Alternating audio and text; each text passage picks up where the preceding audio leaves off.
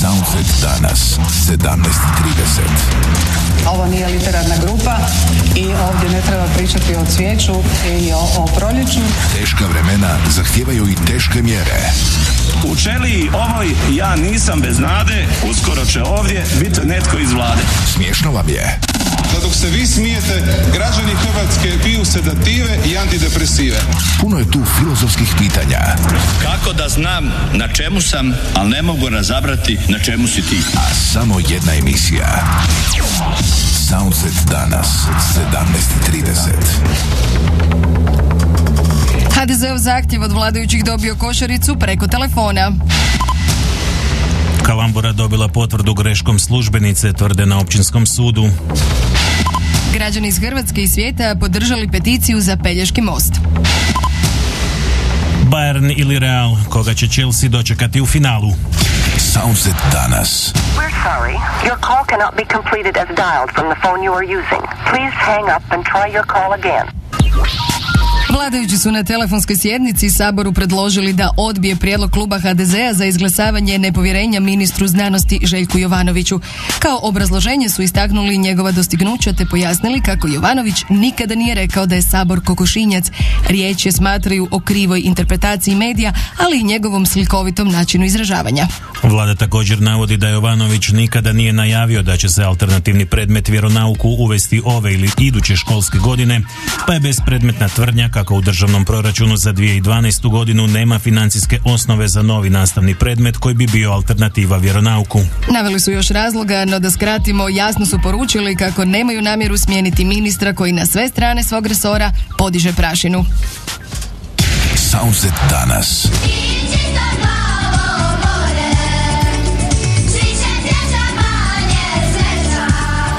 Predstavljen je nacrt prijedloga zakona o zaštiti okoliša čija je svrha privući nove investitore podizanjem objektivnosti i ubrzanjem postupka procjene utjecaja na okoliš.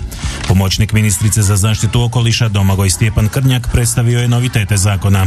Glavna stvar s kojom se zakon treba uskladiti je usklađivanje sa direktivom o industrijskim emisijama. Ta direktiva za Republiku Hrvatsku stupa na snagu od 7. siječnja 2013. godine. Ono što je bitno naglasiti u tom dijelu usklađivanja da se uvodi pojam okolišne dozvole umjesto postojećeg rješenja o objedinjenim uvjetima zaštite okoliša. Okolišne dozvole tako postoje dozvola za rad postrojenja, a potrebno ju je ishoditi nakon lokacijske te prije građevinske dozvole. Također su sinhronizirani postupci zaštite okoliša i zaštite prirode, te od sada ministarstvo bira izrađivača studije dok investitor nastavlja financirati studiju.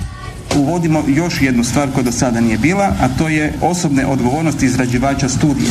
A to znači pogotovo osobne odgovornosti voditelja studije. To ćemo napraviti kroz pravilnik o polaganju stručnog ispita koji je bio planiran u prošlom zakonu, međutim nije, nije do sada a, bio izrađen. Javna rasprava o novom zakonu počinje za dva dana, a trajaće do 20. svibnja. Dodajmo tome kako se na predstavljanju zakona nije pojavila resorna ministrica Mirela Holi, iako je bila najavljena.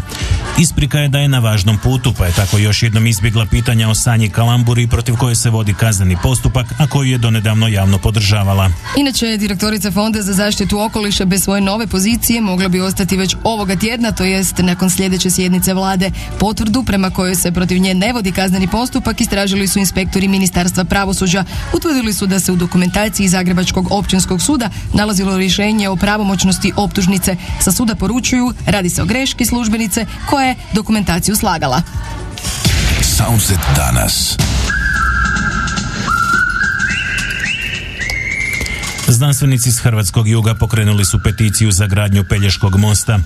Inicijativni odbor udruge Pelješki most, botaničar Nenad Jasprica, povjesničar Vinicije Lupis i oceanologinja Mirna Batistić pokrenuli su internetsku stranicu na kojoj građani mogu potpisati peticiju za gradnju mosta. Jasprica ističe. Nakon ove akcije koju smo predvidjeli peticiju poslati predsjedniku Republike, Vlade i Sabora, koja se može naći na internetu i koju svi zainteresirani mogu potpisati ono što smo mi tamo zapisali s povijesnog i naravno današnjeg motrišta kako vidimo Dubrovnik zajedno sa ostatkom Hrvatske. Znanstvenici su o akciji govorili na mostu na Dubrovačkim pločama kojeg je u doba renesanse izgradio dubrovački arhitekt Paskoje Miličević. Mogli smo u 15. stoljeću, a sad ne možemo, ističe Lupis, ograđujući se od bilo kakvog stranačkog djelovanja. Mi djelujemo kao slobodni intelektualci, slobodni građani koji smo nezadovoljni djelatnošću bilo kojih naših političara koji su poslije zakazali, bilo koje stranke, bilo koje provinjencije. Također i znači organa znači države Hrvatske koja je trebala provesti i sankcioniranje onih ljudi ako su se ogriješili zakon o oduzimanju krađe sredstava. Svakako. Posebno ih smeta ulaganje u cestovnu infrastrukturu Bosne i Hercegovine koju predlaže aktualna vlast. Smatramo da je već previše novčanih sredstava uloženo u pripremne radove i onaj dio izgradnje, da, bi, da je zaludu trošiti novac za neko drugo rješenje. Mi ne možemo pustiti stara, e, stara postojica da se, e, da se na tuđu barku e, katar ne stavlja.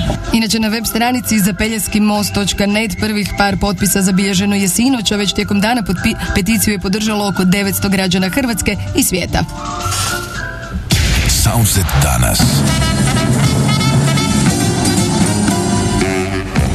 Saborska rasprava o izmjenama zakona o poticanju razvoja malog gospodarstva na kraju se kao i mnoga druga zasjedanja svela na prepirke oko toga koliko je tko radio i što je pokrenuo. Izmjenu je predstavio ministar poduzetništva Gordan Maras, no ubrzo je uslijedila kritika bivšeg HDZ-ovog gospodarskog ministra Đure Popijača i sve se u konačnici svelo na to tko je koliko radio. Razumijemo želju i ministra za malo poduzetništvo da ima svoju agenciju za investicije jer i on želi uzeti jedan dio tog prostora jer neki drugi ministri mu uzimaju puno veći, ali sam zakon niti koristi niti šteti.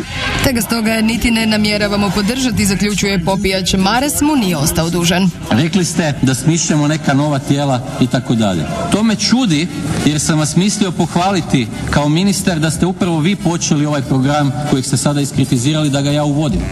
Za riječ se javila i popijačeva šefica Jadranka Kosor. Ja mogu govoriti posebno o dvije i pol godine. Delalo se i tekako. Sa obrazloženjem da se ovim zakonom neće ništa niti dobiti niti izgubiti, osim HDZ-a odbili su ga podržati i HDSSB-ovci. Uslijedila je rasprava o prijedlogu zakona o osnivanju agencije za investicije i konkurentnost. Njime bi se, kako je objasnila zamjenica ministra gospodarstva Tamara Obradović-Mazal, treba osigurati pravni okvir za povećanje konkurentnosti hrvatskog gospodarstva kroz poticanje investicija i novo zapošljavanje, sektorsku specijalizaciju, unapređenje financijskih mehanizama. Zakon je podržala većina dok su hrvatski laboristi tražili njegovo povlačenje iz hitne procedure jer je prema njihovoj ocjeni plemenit u namjerama, ali neprovediv. Soundset danas. U 18 sati u Slavonskom brodu počinje izborna skupština HDZ-a Brodsko-Posavske županije. Pretendenti za fotelju su novi predsjednik gradskog odbora HDZ-a i kandidat za predsjednika županijskog odbora Pero Ćosić, te načelnik općine Garčin Mato Grgić.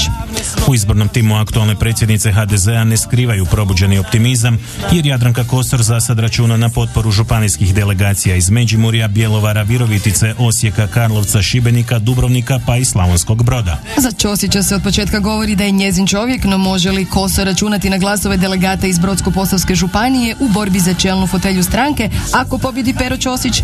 Iz izjave teško se može naslutiti. Mi nemamo protiv nijednog kandidata ništa, nije nas niko zadužio. Oni tek svoju izbornu, ovaj, izbornu kampanju počinju petoga, u kakvim će one asocijacijama od petoga do 20. biti, to ćemo tad procijeniti i mislim da ćemo jednoglasno donijeti odluku u kog ćemo mi podržati.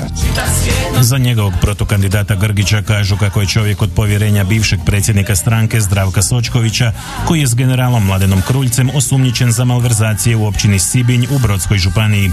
Za Soundset je Grgić komentirao glasine i odustajanje ostalih kandidata u korist Pere Ćosića.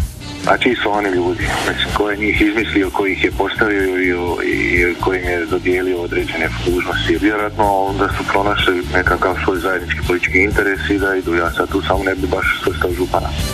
Osim što se očekuju izbori na državnoj razini gdje Kosorici konkuriraju dečki iz njezine ekipe Karamarko, Milinović, Milošević, Prgomet i Kujundžić i HDZ grada Zagreba čisti u vlastitim redovima pa tako biraju novog predsjednika. Sve pršti od kandidata, njih sedam želi tu poziciju, a svi su nezadovoljni dosadašnjim radom gradskog odbora HDZ-a.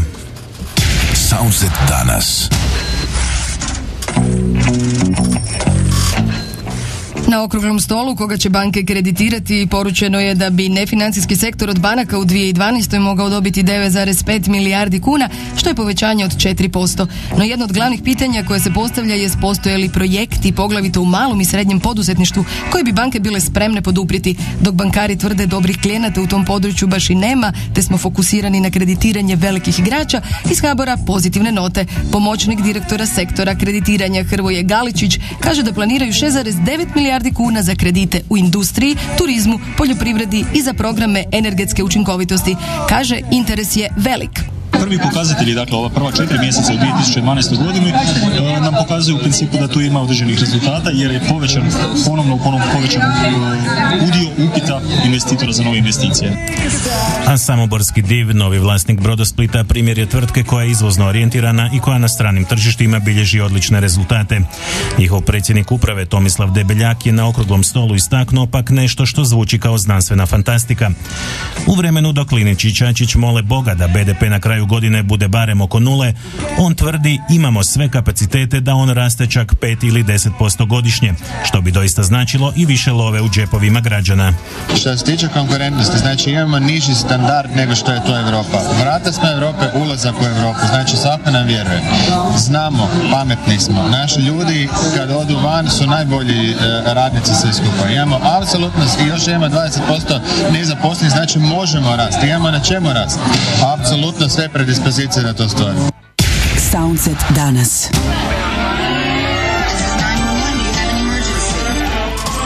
Ministar obrane Ante Kotromanović i zdravlja Rajko Ostojić potpisali su godišnji sporazum o suradnji hitnog zračnog medicinskog prijevoza helikopterima, ratnog zrakoplovstva i protuzračne obrane u svrhu pružanja zdravstvene zaštite. Dakle, praksa koja se sada provodila samo tri mjeseca u godini sada se produljila na cijelu godinu. Razlog su sve češći hitni slučajevi na otočkom području. Zadnje tri godine napravili točno 3700 letova, prevezli smo preko 4000 ljudi. I to je naša pomoć i to je naša moralna obveza i mi ćemo dalje napraviti sve što našoj moći da bez obzira na i troškove, na stvari i sve probleme koje imamo da pomažemo, suportiramo civilne institucije Republike Hrvatske na način na koji to radimo i na koji to najbolje može. Ostojić je zahvalio Morhu na svemu što čine kako bi olakšali dostupnost zdravstvene zaštite svim hrvatskim građanima, kao i milijunima turista koji godišnje posjete Hrvatsku, a i Ministarstvo zdravlja ima bitnu ulogu. Osigurati na naš trošak liječnika i medicinsku sestru i tehničara, dakle to je novost. Dakle, cijelo vrijeme je u helikopteru liječnik koji ide ka pacijentu i prati pacijenta u bolnicu i broj dva, naravno da će osigurati posebnu obuku iz zrakoplovne medicine te da imaju svu potrebnu opremu za prvu pomoć u helikopteru i za letove iznad mora. U priješnjim slučajevima lokalni liječnik bi napuštao svoje radno mjesto i pomagao u nesrećenom, a sada će to raditi uvježbana i educirana ekipa iz helikoptera. Bržu, efikasniju i sigurniju zaštitu pohvaljujemo. Soundset danas. 1. svibnja, praznik rada, umjesto prosvjeda u Požegi kraj Orljave se tradicionalno održava natjecanje u kuhanju slavonskog čobanca, Požeški kotlić. Biće 30 natjecatelja iz cijele Slavonije, a posjetitelji očekuje zanimljiv cijelodnevni zabavni program uz neizostavne tamburaše i bogatu ugostiteljsku ponudu. Požeški gradonačelnik Zdravko Ronko. Jedna manifestacija na kojoj smo evo kroz ova dva podržana kotlića imali posjetu od preko 5000 ljudi. Vjerujemo da će se ove godine odazvati veliki broj naših sugrađana jer su i natjecatelji spremni za, da tako kažem, okršaj. A za taj gastro okršaj natjecatelji trebaju ponijeti samo kotlić i začine, poručuje direktor Požeške turističke zajednice Bruno Horvat. Turistička zajednica grada Požege će svim natjecateljima osigurati meso, znači 5 kg mesa po kotliću, 2 kg svinjetine, 2 kg junetine i kilogram divljači, vodu, drva, te naravno natjecateljsku majicu. Ako ste 1. svibnja u blizini, samo dođite. Ako ne, putokazi na pravome mjestu dovest će vas do mirisa sodljave. Soundset danas. Sport. Večeras doznajemo drugog finalista Lige prvaka. Real Madrid će pokušati nadoknaditi 2-1 prednost Bayerna iz prvog susreta, no još uvijek je top nogometna tema. Sinoćnja šokantna utakmica u kojoj je Chelsea izbacio Barcelonu. Osvetio im se za krađu 2009. godine i ušao u svoje drugo finale Lige prvaka. Katalonski mediji žale se na nedostatak sreće, a nemoćni trener katalonske momčadi koja je u samo tjedan dana prokockala cijelu sezonu, Pep Guardiola, nemoćno sliježe ramenima. S druge strane, donedavni Ancelottijev pomoćnika, sada trener Chelsea, Roberto Di Matteo, odvoje klub tamo gdje je malo tko prije par mjeseci, mjeseci vjerovao da je moguće. Evo kako je odgovorio na kritiku da je Chelsea u finale možda nezaslužen. Kada prođete dalje, kada ne izgubite u dvije utakmice od Barca, mislim da smo zaslužili finale. Igramo drugačije od Barcelone, oni imaju svoj unikatni stil. Stoga ne mislim da su oni zaslužili proći, mislim da smo to ipak mi. Soundset danas. Emisiju realizirao Dino Kraljeta. Voditelji Željka Veverec, i Milan Peh, novinari. Marija Kunder, Marko Štefelić, Nikolina Bračko, Ivan Barbarić, Sanja Pok. Urednici Željka Šaponja. I Bruno Perić. direktorica programskih sadržaja Mirela Pejaković. Snimku emisije poslušajte na podcastu našeg weba www.soundset.hr Soundset danas. Vrijeme. U Hrvatskoj nas sutra očekuje pretežno sunčano i osjetno toplije vrijeme. Ujutro uglavnom u Slavoniji i Lici ponegdje može biti magle. U sjeverozapadnim i gorskim krajevima puhaće umjeren mjestimice i jak jugozapadnjak, a na Jadranu slab do umjeren jugozapadnjak i jugo. Najniža jutarnja temperatura zraka uglavnom od 5 do 10, a na Jadranu od 9 do 14, a najviša dnevna između 17 i 23. Soundset danas. Prometni info. Na autocesti A1 promet teče dvosmjerno na dvije dionice između tunela Sveti Rok i čvora Maslenica. Kroz tunel Konjsko do 20 sati vozi se jednom cijevi dvosmjerno. Na autocesti A6 Rijeka Zagreb između naplatnih postaja Lučko i čvora Bosiljevo u smjeru Rijeke vozi se jednim trakom na vijaduktu Drežnik te kroz tunel Tuhobić u smjeru Zagreba. Od 23 do 01 zbog održavanja vatrogasne vježbe u tunelu Rožman Brdo za sav promet će biti zatvorena dionica A6 od čvora Vrbovsko do čvora Bosiljevo 2 u smjeru Zagreba. U to vrijeme promet u smjeru Zagreba odvijat će se obilazno državnom cestom D3. Promet u smjeru Rijeke odvijat će se nesmetano spomenutom dionicom autoceste A6. Slušali ste Soundset danas. Soundset danas.